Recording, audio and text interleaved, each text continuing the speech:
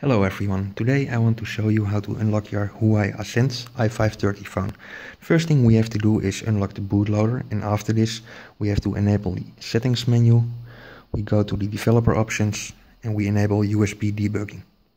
We also must make sure that in the security menu on the phone the option unknown sources is enabled else the SRS client is not able to root it.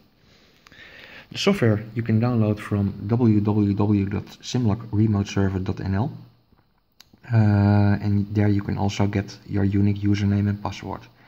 After logging into the software with your user and password, we need to select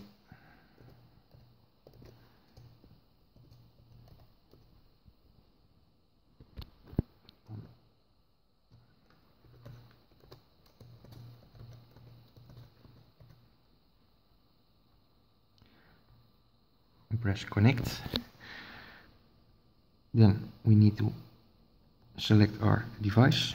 It's on Huawei Ascend if you type in first letters and press the down button it's faster than searching the complete list.